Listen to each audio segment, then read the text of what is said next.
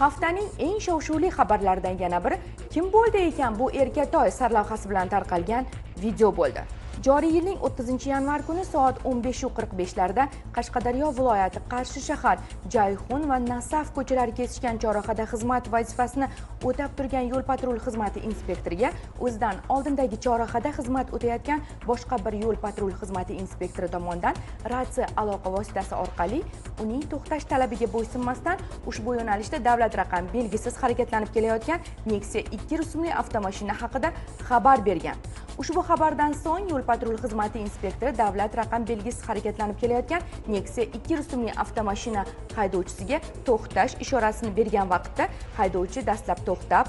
inspektor haydovchi tomonga yurib o'tayotgan vaqtda haydovchi harakatni davom ettirib avtomobilni yo'l patrul xizmati inspektorining ustiga haydab qarshi shahar Jayxon ko'chasi bo'ylab harakatlanib taxminan 2 kilometr masofagacha avtomobil kapotida saqlab keyin keskin tormoz berib inspektorni tushirib yuborib noma'lum tomonga harakatlanib qochib ketgan.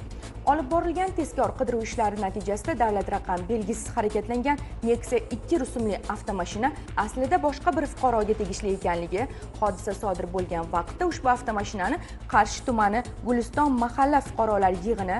islomobod ko'chasi 7 uyda yashovchi 17 yoshli hali haydovchilik guvohnomasiga ega bo'lmagan shaxs boshqarganligi aniqlandi. Mazkur holat yuzasidan ushbu 17 yoshli fuqaroga nisbatan qarshi shahar prokuraturasi tomonidan joriy yilning 29 fevral kuni jinoyat kodeksining 219 moddasi ikkinchi qismi bilan jinoyat ishi qo'zg'atildi va hozirda dastlabki tergov harakatlari olib borilmoqda.